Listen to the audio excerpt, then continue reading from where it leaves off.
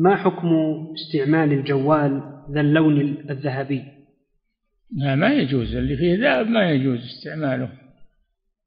إذا كان يتحصل منه ذهب لو لو جمع الذهب يتحصل منه شيء فلا يجوز هذا. نعم.